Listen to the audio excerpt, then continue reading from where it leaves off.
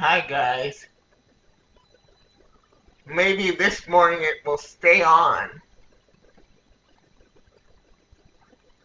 Um, let's pray.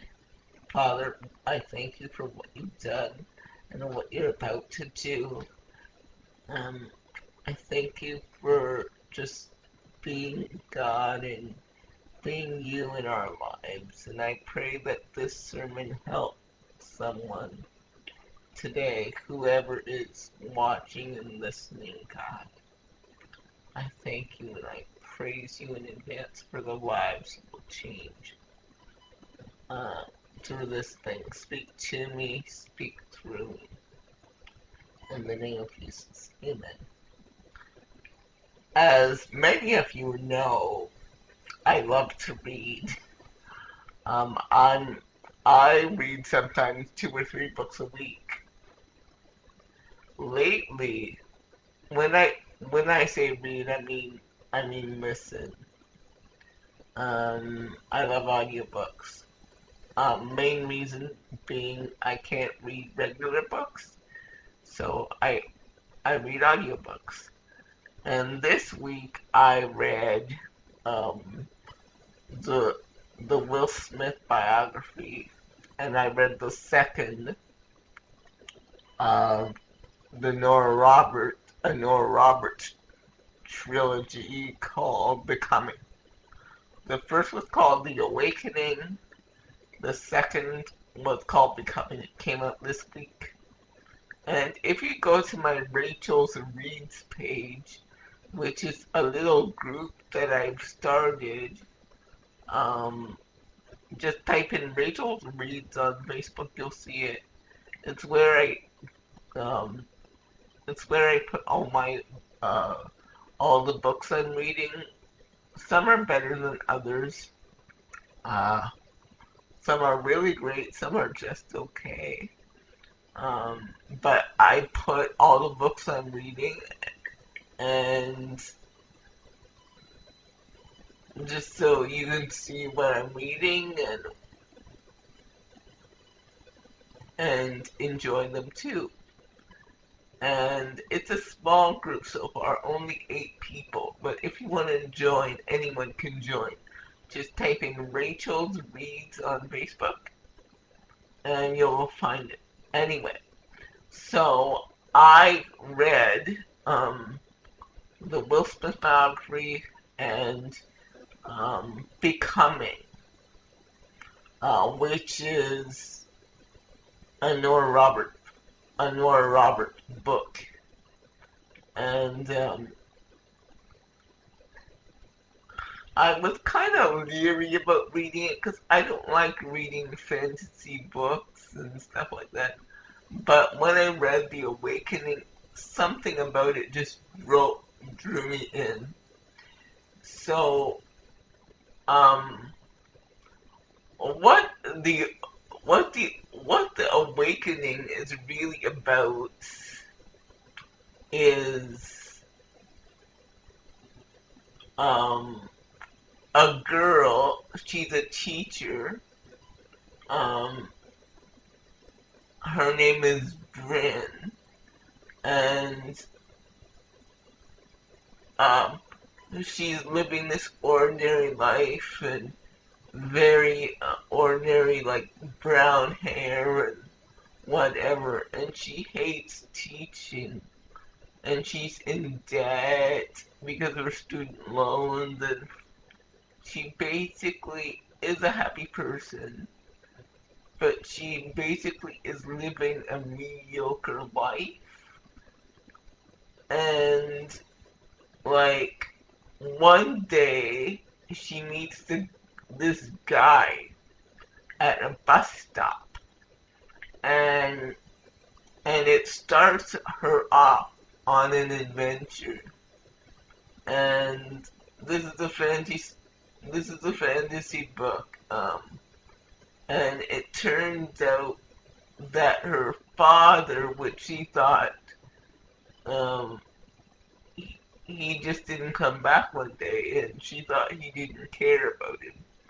But what happened is uh, her father was a leader in another world. And um, it turned out that her father had some uh, magic powers that that she didn't know about, and the and the way that she thought about, about it is um, she she found a bank statement to a bank in Ireland which housed millions of dollars. And that millions of dollars led her to Ireland to find out about her father because her mother really just um, because of fear her mother just kept her down and and insisted that she hide uh, her hair color, that she dress kind of um, dowdy like in, in dark clothes and really nondescript. And then there's a whole other world that that she is a part of and she didn't know. Um, and and the only person she had was her friend called called Marco, and uh, Marco was was her best friend, and like so they they they go on this journey.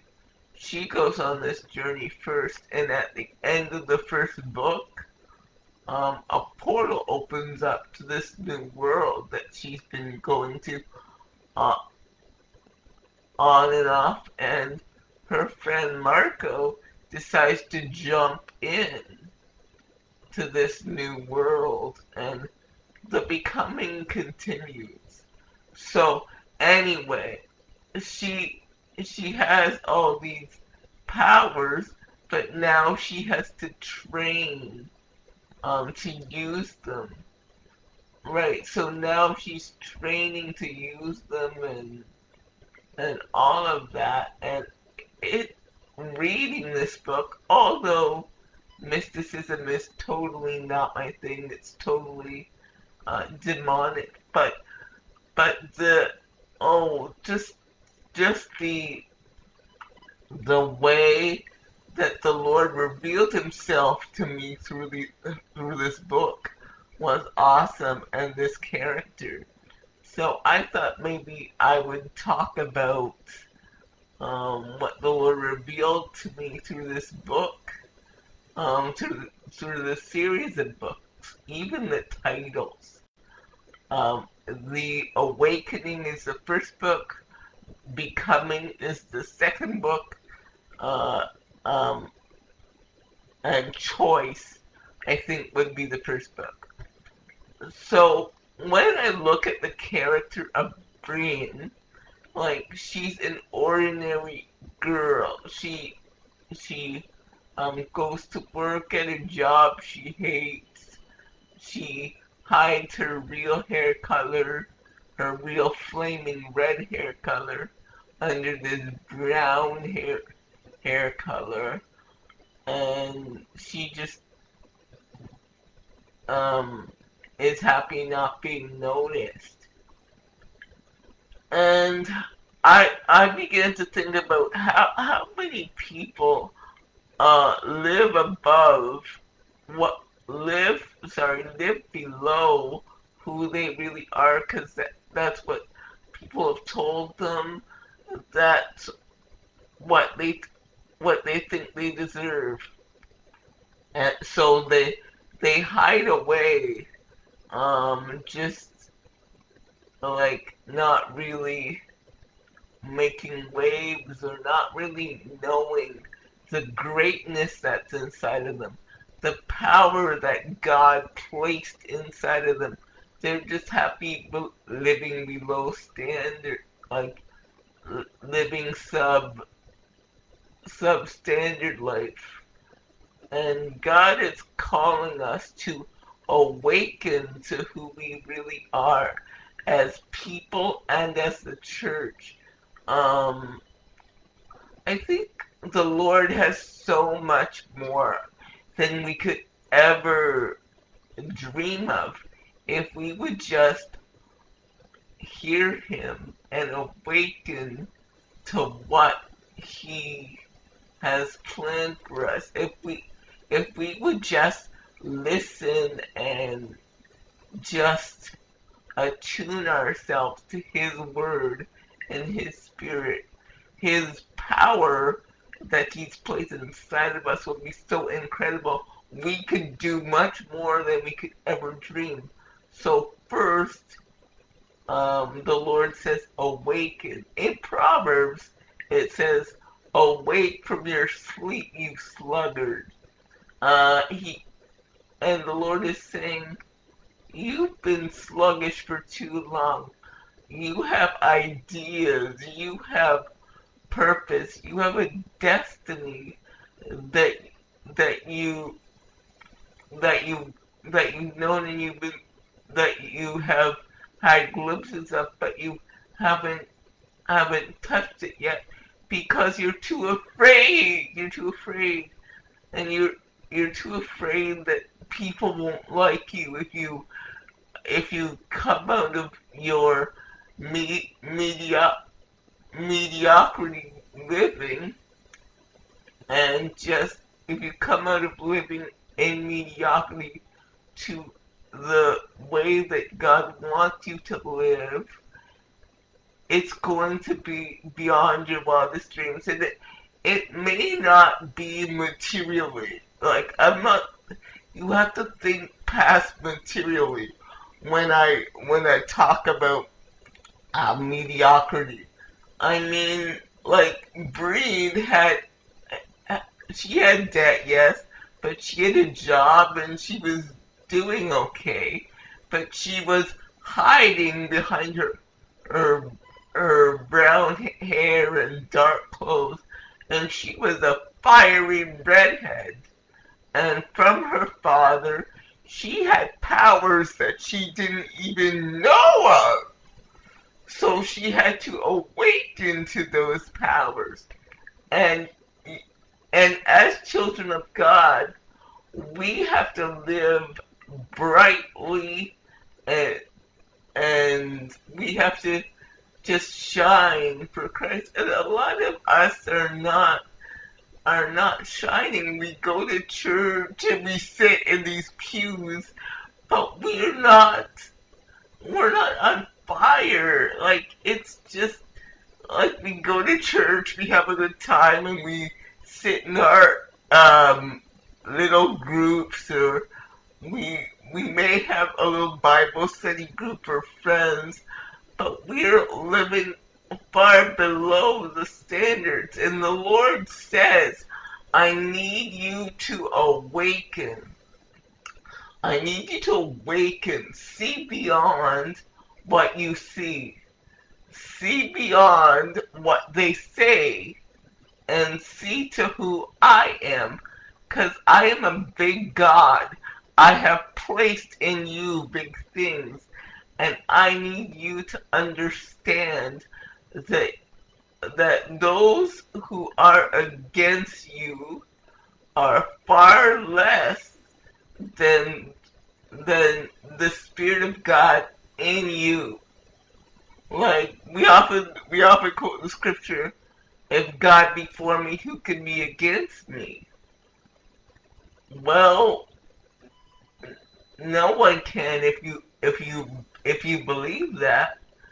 And that scripture's open open ended because we expect the answer to be no one.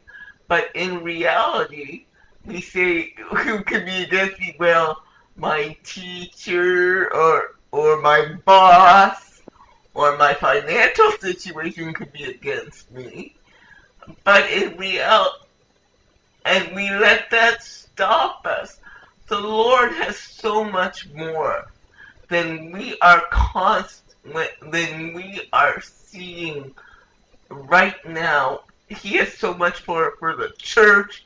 He has so much more for the world. He has so much more than than what we could ever ask for. And more than we ask, think, or imagine. According to his power working in us. But we haven't harnessed that power. We're hiding the power of God in us because we're too afraid.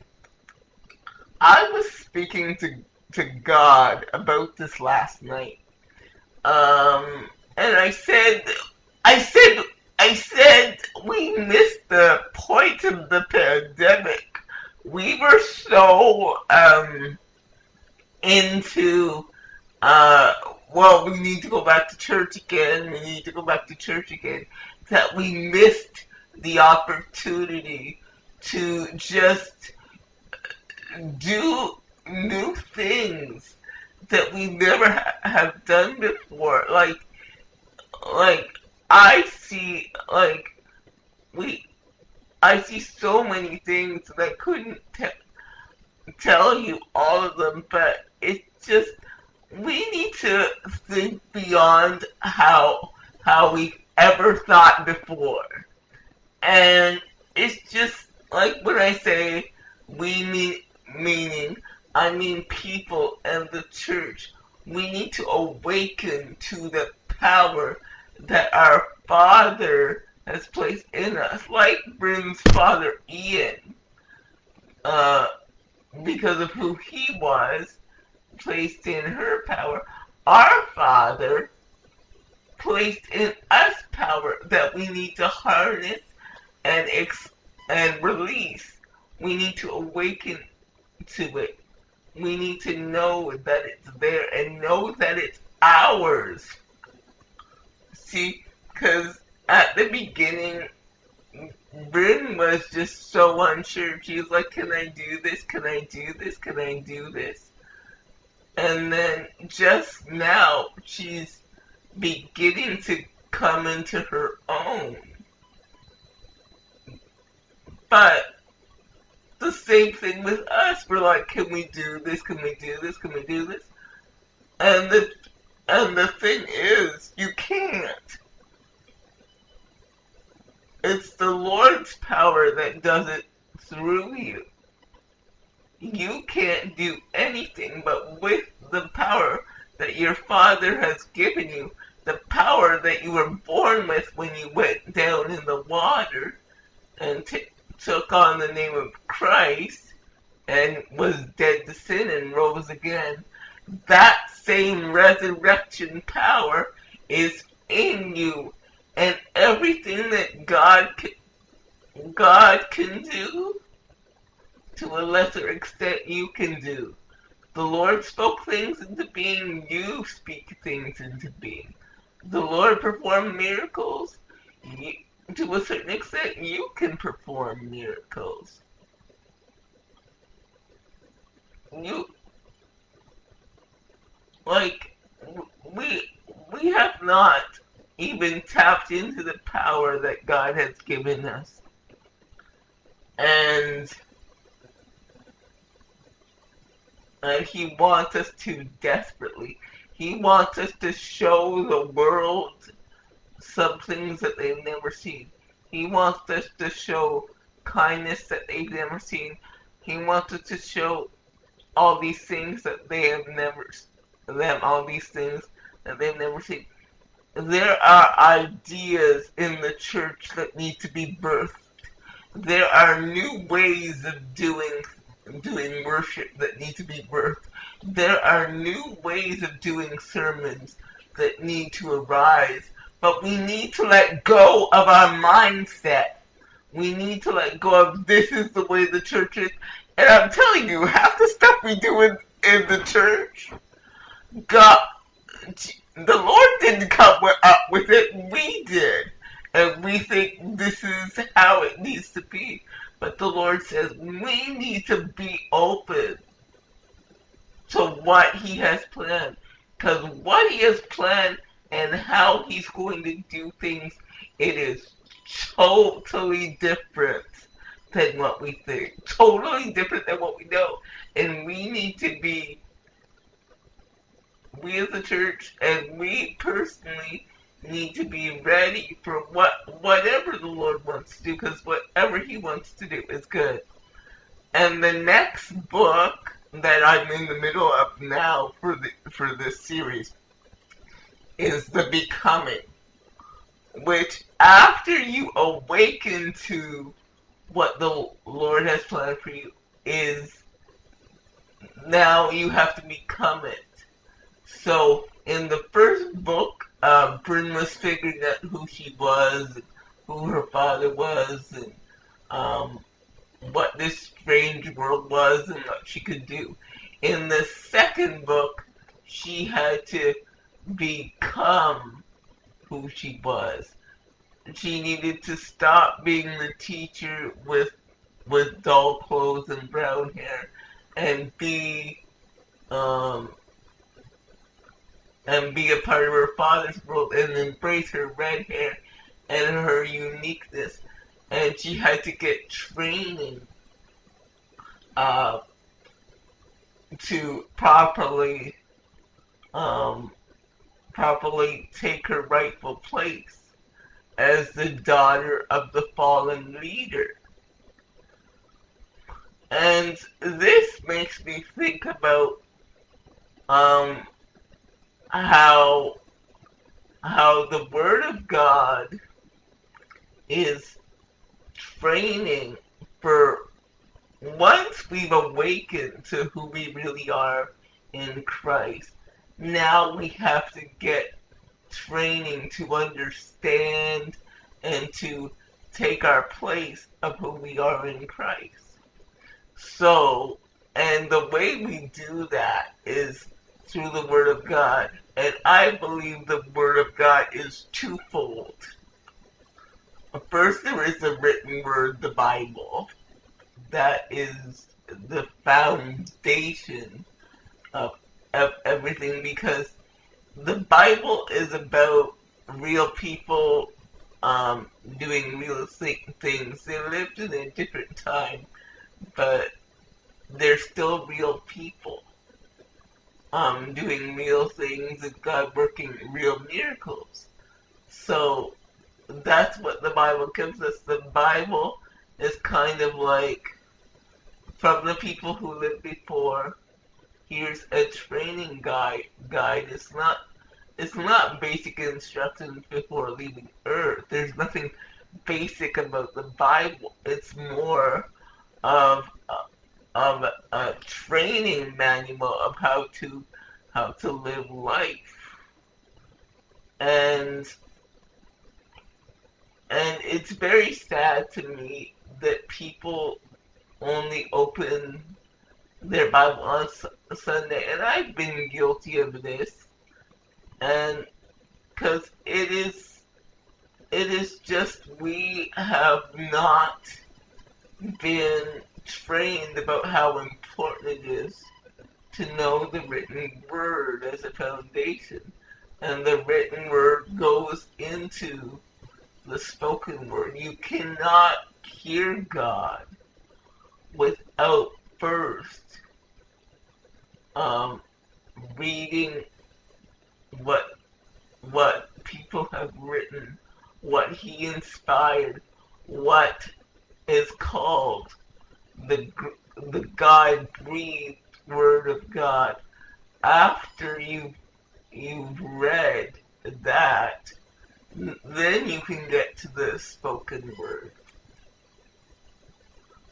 Um, I was thinking how how instead of getting how we need to get children into reading the Word of God and not like those those uh, patty cake scriptures that we that we uh, teach children, but we need to teach them uh, tools and and we need to get them armed for what they're facing out there.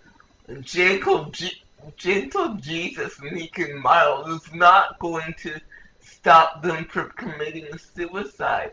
they need to be armed with the Word of God. And I was thinking that um, the time to start with your children, I don't have children, but I was a child, and I wish to God my parents had started with me young, not just not just saying recycled prayers, but teaching me how to read the Word of God and how to how to hear God's voice. I didn't know about even reading the Word of God until until um, for myself until I was in my twenties. Well, I heard about worship and we had devotion, but I didn't know for myself about reading and training to read the Word of God and to fight with the using the Word as a sword. If I had, things would have gotten a lot easier for me. So I think we need to start training children how to not just not just memorize the scriptures, but make the scriptures their own. And and when they make the scriptures their own, they'll begin to hear the voice of God. And the voice of God will get them through anything. It's more than the voice of their parents. It's more than the voice of their teachers. The, the voice of the Holy Spirit will guide them into all truth. And I think we need to start from four. And if you're and if your children could could memorize um, a Dua Lipa song or whatever song from a Halsey song from the radio, they could definitely memorize the Word of God. And after the written word is the spoken word of God. It's the word that you hear in your head. And and when you when you develop a rhythm, what I call it a rhythm with God, you will understand how He speaks to you. So the Word of God is the foundation.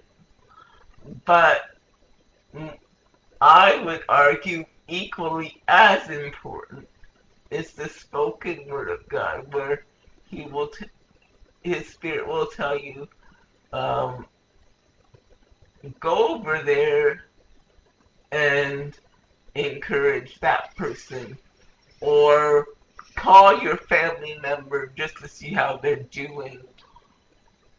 Or do something like that because you'll be God wants you to be so in tune with him that he it becomes second nature. It becomes second nature and and now for me, I'm not always I'm not always good at this. My God, we're all all a work in, in progress. But now I'm getting better at not only hearing hearing the word um, that He speaks to me, but listening to it. And that's all a part of becoming who God wants us to be. So first I awaken and now I'm becoming. I awaken to who God is, and now I'm becoming uh, more of who He wants me to be through training. And worship is another thing, is another source of training. Worship allows you to just give back to God what He's given you, because um, it said in Genesis, it said uh, God breathed into man, and man became a living soul. So worship is giving back to God what He deserves, which is your breath. not your music, not your songs. I oh I oh I said this a few weeks ago. Um, songs are just a vehicle. They're not worship. What worship really is is your life is worship. Your life is worship. And real worship is He wants your breath. He wants the breath that He gave to you back to come back to Him.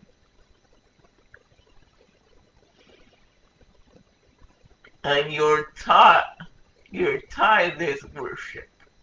Your your time is worship all of those things are ascribing worth to Him. That's what worship is. It's ascribing worth to Him. It's telling Him how beautiful He is. It's telling Him how wonderful He is. It's telling, it's saying to your life how gracious He is. and it's more than Sunday morning. Worship has to first be intimate, and then it could be public. Um, because you, uh, like the spirit, like the natural, you can't create anything in public. In public, you can't create anything because you have all your clothes on and you're looking good. But in private, in worship, you you strip off all your clothes, strip off all your confidence, just strip it down to the very when I say confidence, I mean false confidence. Um, you you strip it down to the very bones and let God see who you are. And in that time, he can put himself in you and create something new, create new li- life. Um, usually, songs don't come to me. This is just me. Usually, when I write a song, because I'm a songwriter too, so usually when I write songs, it it comes to me in in private in my in my private time, in my thinking time. Usually that's how sermons come to me as well.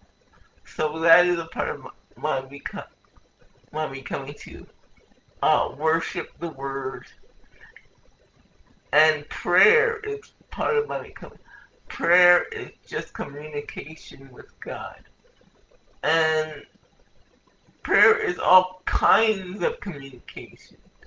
Uh, like you you have all these books on how to pray and whatever, but really all God wants is to hear you. He doesn't want to hear like people from the 17th century. If you talk like that in your real life, go ahead. But he just wants to hear you. He just wants to uh, be with you. He just want he just wants you. He just wants you and he just wants you to know how beautiful you are. And as I said in closing, I was also reading the Will Smith biography. And th- there was this weird part. I won't even say the whole part because it was really weird and kind of. I'm not going to say it here. But the one thing I got out of that part, which I will say here and show here, was because he said I was I was working and working for all this. I had all this stuff. I had number one selling movies. I had I had what seemed to be the perfect marriage. I had a number one music career. He said but I didn't know that all that stuff didn't matter. I didn't know that I was beautiful enough. He's like, he's like, I found out that I was beautiful as me. And the Lord wants me to say that you don't have to achieve, achieve, achieve, achieve to be someone. That's the world's opinion, but God's opinion is you are beautiful the way you are. He's created you and he doesn't God doesn't create message. He wants you to know through me today that you are beautiful just the way you are. So let's recap. Um, first, you have to awaken to who you are and who He is. Then you you become uh, who He wants you to be. And the third book in this series that is not out yet is called The Choice. Um, because it's not out yet, I don't know what it is about. But the Lord wants you to make a choice for Him today. Ch- choose not only to receive Him as your Lord and Savior, but choose to live boldly for Him. A lot of people make the first choice and they think that's it, but now you have to choose to live boldly. And to live boldly is not like going around and beating people over the head with their Bible, with your Bible and judging people. Living bold, boldly is first internal, knowing and settling in yourself that you are loved and being bold for the king, kingdom, loving boldly, um, being gracious boldly, uh, just living your daily life with boldness and the confidence that no matter who says what on social media, no matter who says what on your job, in school, or whatever, you are loved, you are cared for, you are just the most unique person ever. The, the God of the universe created you, made sure the right sperm and the right egg got together to create you with all your gifts, all your attributes, your hair color, your eye color, your gender. He's created you beautiful. He's created you just the way you are. And he loves you just the way you are. Thank you guys for joining me today. I really appreciate it. Bye.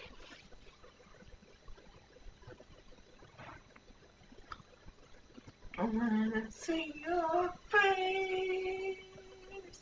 There's not anything that I would change because you're amazing.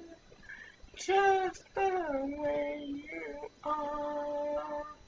And when you smile, the whole world stops and stares for a while because you're amazing. Just the way you are.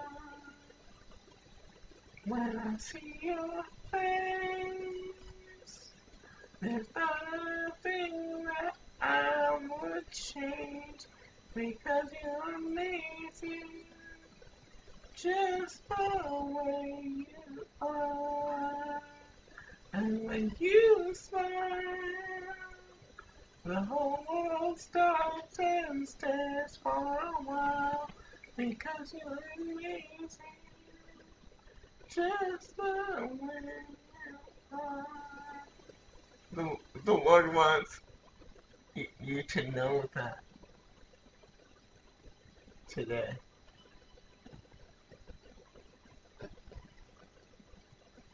And he also want, and he also wants you to know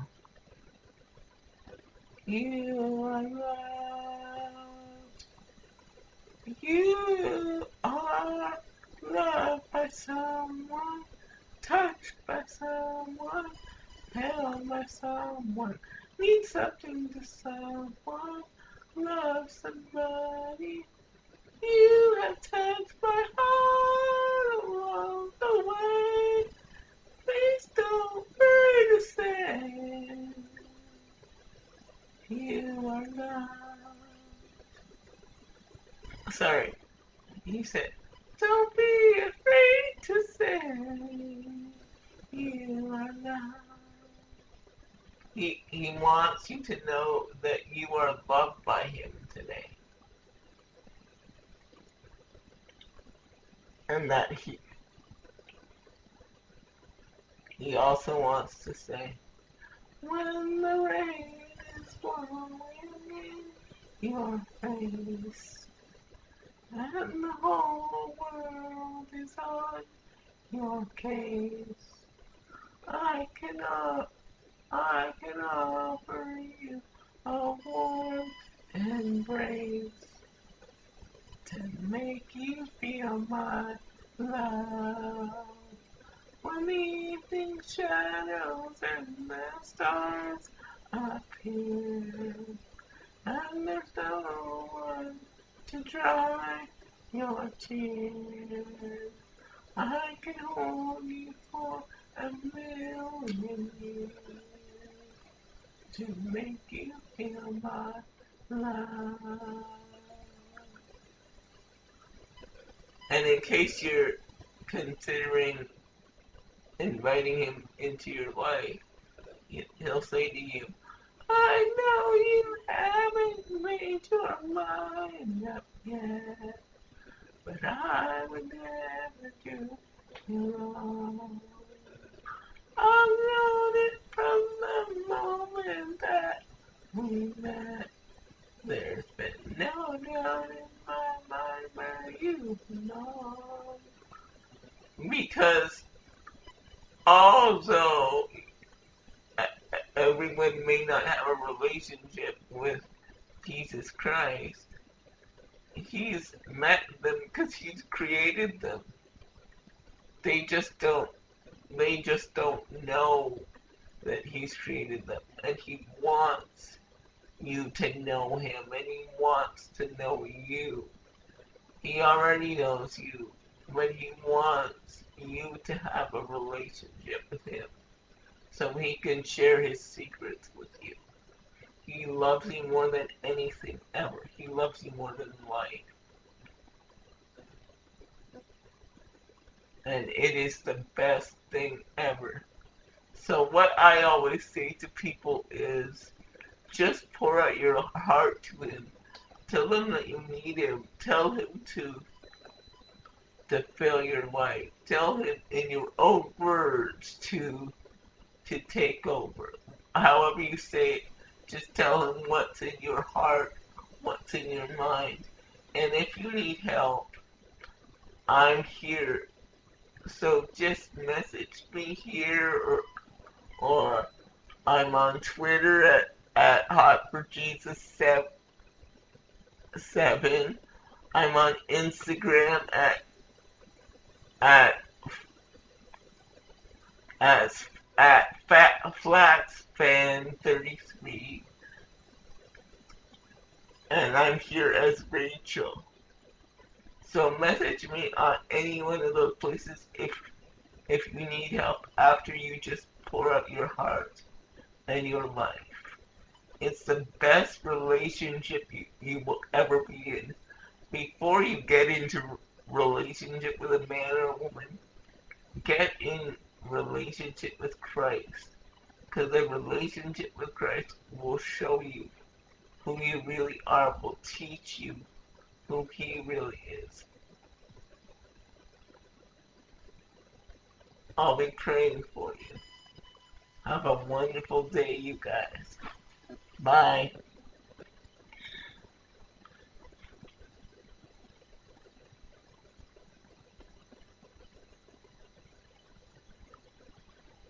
Can't you feel my love? He's God saying today, can't you feel my love? Come on and feel my love. Come on and take this love. Thank you guys. Bye.